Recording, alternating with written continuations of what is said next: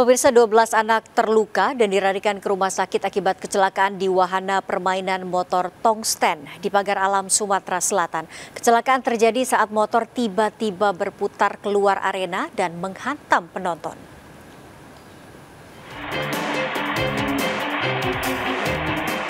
Aksi motor di wahana permainan motor tongsten atau biasa disebut roda gila ini memakan korban.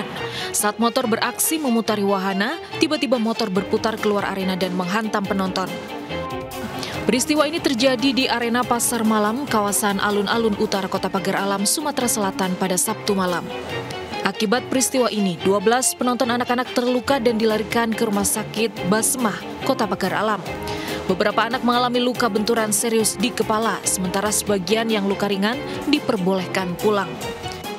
Ada 11 orang dipulangkan, namun ada satu orang yang lagi diobservasi karena kan terdapat benturan di kepala dan pasien juga mengeluhkan ada muntah.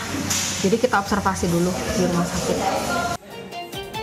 Menurut salah satu orang tua korban, anaknya mengalami luka benturan di kepala dan telinga dan sempat muntah pasca kejadian.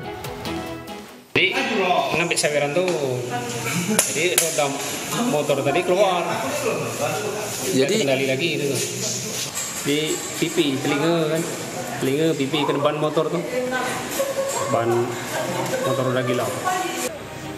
Peristiwa ini masih dalam penyelidikan kepolisian setempat. Dari Kota Pagar Alam, Sumatera Selatan, Yudi Fiveman iNews melaporkan.